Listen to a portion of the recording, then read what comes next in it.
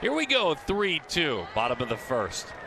Got him with a changeup. That one had the look of a split fingered